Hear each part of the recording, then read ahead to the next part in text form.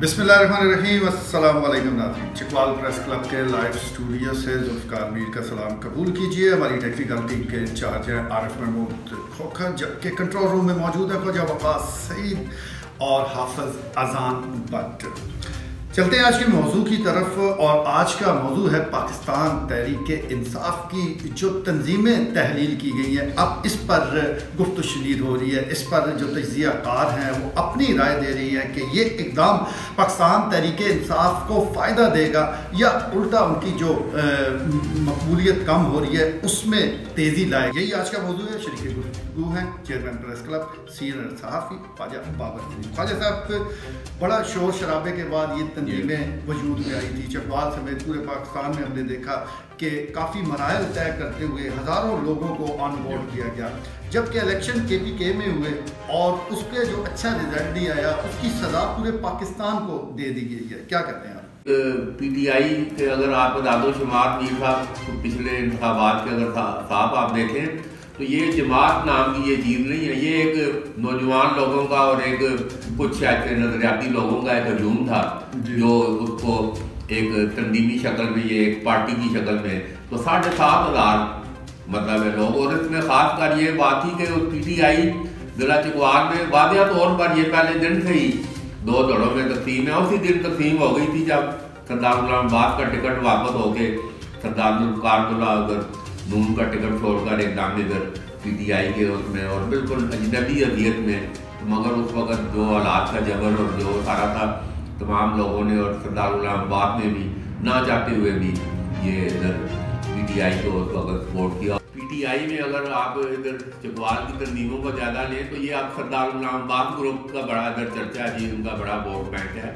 تو یہ P T I نے یہ ان کے جو سرکردہ لوگ تھے، سردار غلام آباد گروپ کے۔ یہ کیونکہ سردار صاحب اکبر کا موقع پہلے دن سے ہی بڑا واضح تھا کہ میں پی ٹی آئی کے ٹکٹ پر منتخب ہوں تو میرا مینڈیٹ پی ٹی آئی کے ساتھ ہے اور لوگوں نے پی ٹی آئی کو مینڈیٹ دیا کہ میں اپنا سردار غلام آباد کے انہوں نے فیصلے سے اختلاف کرتے ہوئے ان کے ساتھ جانے کی بجائے اپنے آپ کو پی ٹی آئی میں ہی برقرار رکھا۔ تو اس وقت آپ یہ بڑا مینیفیٹ ہے یہ راجہ یاسر سرفراز صوبائی وزیر نے اعلان کر دیا کہ یہ ڈسٹرکٹ میئر کے ہمارے امیدوار یہ سردار فتاب اکبر ہیں یہ ایک بڑا میں سمجھتا ہوں کہ ایک وہ کہتے ہیں نا کارڈ جی ایک حفاظت ایک کارڈ ہے شطرنج ہے تو یہ ایک بڑا بھرپور بورا یہ یاسر سرفراز میں اور سردار فتاب اکبر نے جو ادھر موجودہ حالات ہیں سردار غلام آباد مسلم لیگ نون میں گئے ہیں تو مسلم لیگ نون والے چھلانگے لگا رہے ہیں کہ آپ ان کو کون روک سکتا ہے۔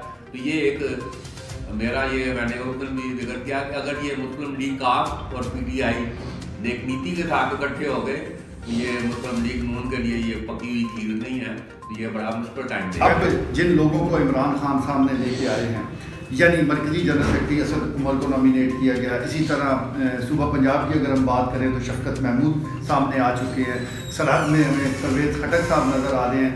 تو کہا جا رہا ہے کہ اب جو منتخب قیادت ہے، اس کو سامنے لایا جا رہا ہے۔ تو اس سے کیا پاکستان تحریک انصاف کو کچھ فائدہ ہوگا؟ اگر آپ دیکھیں نظر ڈالیں تو یہ پی ٹی آئی کی تنظیم شادی اس لائن پہ ہوئی ہوئی تھی کہ یہ ایک جو ایک بلدیاتی یہ سارے کھلاڑی ہیں۔ دیکھیں اگر وہ تحصیل چکوال کے صدر چودھری نثار علی خان فیرال وہ چیئرمین منتخب ہوئے تھے خرار میں اور حکومتی امیدوار کے خلاف کامیاب ہوئے تھے۔ انہوں نے بلدیاتی الیکشن کروائے تھے تو ان کے خلاف جیتے تھے۔